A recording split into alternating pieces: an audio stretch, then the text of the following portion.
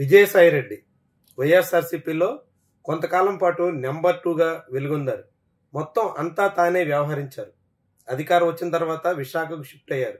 అక్కడ ఏం జరిగిందో ఏమో ప్రస్తుతం ఆయనకి పార్టీలో పెద్దగా ప్రాధాన్యత కనిపించట్లేదు చివరకు వైఎస్ జగన్ని ఆయన కలిసి చాలా కాలం అయింది. అధికారం కోల్పోయిన తర్వాత చాలా తక్కువ సందర్భాల్లో మాత్రమే వాళ్ళిద్దరూ కలిశారు. ఈ నేపథ్యంలో విజయసాయి రెడ్డి తాజా ట్వీట్ చర్చనీయాంశం అవుతోంది. ఇప్పటికే విజయసాయి రెడ్డి కొందరు ఎంపీల్ని పార్టీ మార్చడానికి ప్రోత్సహిస్తున్నారని చివరకు ఆయనే పార్టీ మారిపోయే ప్రమాదం కూడా ఉందన్నట్టుగా వైఎస్ఆర్సీపీ నేతలే మాట్లాడారు. సాక్షి ఛానల్ కేంద్రంగానే రవిచంద్రారెడ్డి చేసిన వ్యాఖ్యలు ఒక నెల రోజుల క్రితం దుమారం రేపాయి. నేరుగా ఆయన విజయసాయిరెడ్డి మీద గురిపెట్టారు.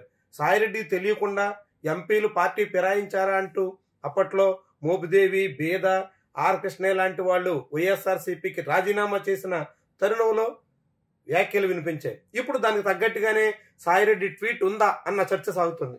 సాయిరెడ్డి ట్వీట్ చూడొచ్చు మనం. ఆయన చేసిన ట్వీట్ ఇది బలగం సైన్యం లేనిదే రాముడు కూడా రావణుడిని చంపలేకపోయాడు. అంటే ఆయన ఉద్దేశం ఏంటన్నది ఇప్పుడు పెద్ద చర్చకు ఆస్కారం ఇస్తుంది. అంటే జగన్ వెనకాల బలగం లేదు సైన్యం లేదు కార్యకర్తలు లేరు. కార్యకర్తల సహకారం దక్కలేదు అని సాయిరెడ్డి సంకేతం ఇస్తున్నట్టు కనిపిస్తుంది. అదే ట్వీట్లో చివరిలో స్వర్గీయ వైఎస్ఆర్ ఆయన మంచితనం వలన ప్రజల గుండెల్లో చిరస్థాయిగా నిలిచిపోయారు. అంటే ఇక్కడ వైఎస్ఆర్ని అంటే ఈ మహానేతగా అని వైఎస్ఆర్ సిపి శ్రేణులంతా పిలుచుకునే మహానేతని ఇక్కడ గుర్తు చేయదలుచుకున్నారా? లేకుంటే జగన్కి మంచితనం లేదని ఈయన పరోక్షంగా చెప్పదలుచుకున్నారా? ఇది పెద్ద చర్చ.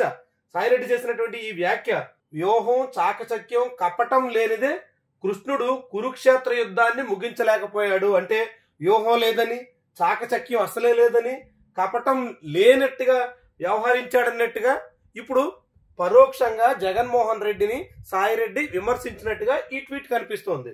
అలాగే అంతేకాకుండా గెలిచిన ప్రతి యుద్ధం కనుక కొంత స్వార్థం కొంత మోసం కొంత కపటం ఖచ్చితంగా ఉంటుంది అని చెప్తూనే గెలిచిన ప్రతివాడు గొప్పవాడు అవుతాడేమో కానీ మంచివాడు కాలేడు.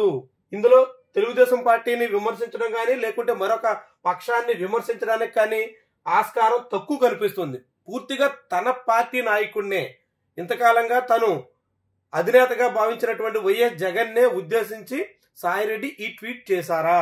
అనే చర్చ ఇప్పుడు ఖచ్చితంగా సాగుతుంది. నువ్వైనా నేనైనా మనిషి అయినా ఎవరైనా మంచివాడు కాలేడు కానీ మంచివాడు కావాలంటే ఖచ్చితంగా వైఎస్ఆర్ లాగా ప్రజల గుండెల్లో చిరస్థాయిగా నిలిచిపోవాలంటే బలగం సైన్యం ఉండాల్సిందే వ్యూహం సాకచక్యం కావాల్సిందే. ఇది ఇప్పుడు సాయిరెడ్డి చెప్తున్నటువంటి మాట.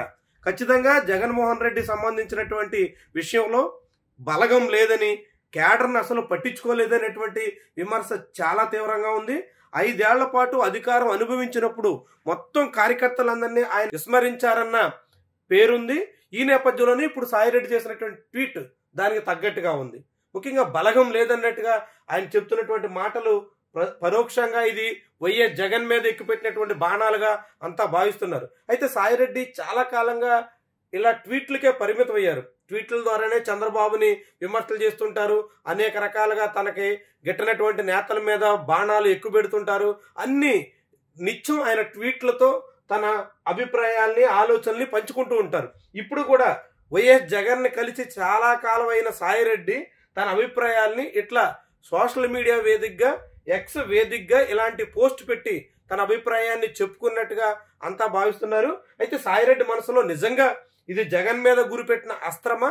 లేకుంటే ఇంకెవరి మీద అయినా ఆయన ఇలాంటి బాణాలు ఎక్కువ పెట్టారా అన్నది తెలియాల్సి ఉంది కానీ చూస్తుంటే మాత్రం ఇది ఒక ఇండికేషన్ జగన్మోహన్ రెడ్డి బలగాన్ని పట్టించుకోవటం లేదని సైన్యాన్ని చేరదీయలేదని వ్యూహం అసలే లేదని ఖచ్చితంగా ఆయనకి చాకచక్యం లోపం ఉందన్నట్టుగా సాయిరెడ్డి మాటల్లో కనిపిస్తుంది.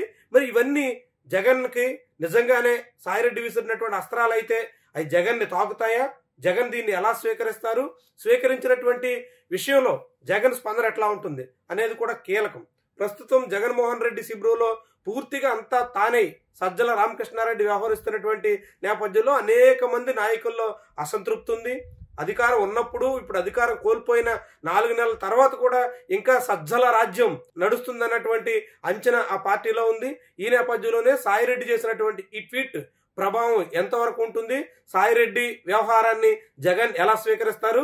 సాయిరెడ్డి మీద జగన్ ఎలా రియాక్ట్ అవుతారు? ఇవన్నీ ఒక కీలకమైన అంశాలు అవుతాయి. వీడియో నచ్చితే లైక్ చేయండి కామెంట్ రాయండి షేర్ చేసి సబ్స్క్రైబ్ కూడా చేయండి. Thank you for watching.